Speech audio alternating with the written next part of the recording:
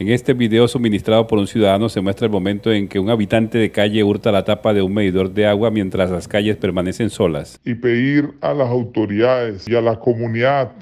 de Barranca Bermeja, de nuestro barrio, a que nos unamos en contra de esos bandidos, de esos delincuentes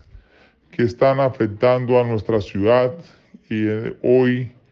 lamentablemente fuimos víctimas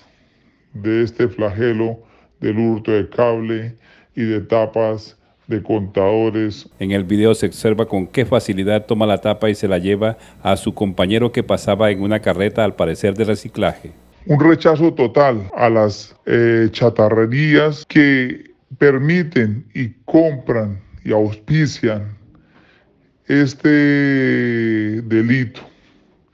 genera, haciendo esa receptación de esos elementos hurtados como el cable, las tapas de alcantarilla, las luminarias, todo lo que se está dañando. Estos hechos son reprochados por la comunidad del sector norte de Barranca Bermeja que asegura que los robos no solo de medidores se dan, sino también que están hurtando celulares y cada vez son más frecuentes estos tipos de delitos. El llamado es a que nos unamos, a que denunciemos, a que la Fiscalía y Policía Judicial implementemos una estrategia en la cual permita hacer la judicialización de estos sujetos que han sido reincidentes, que han sido en algunas ocasiones capturados por nuestra Policía Nacional, pero debido al valor o a la, a la cuantía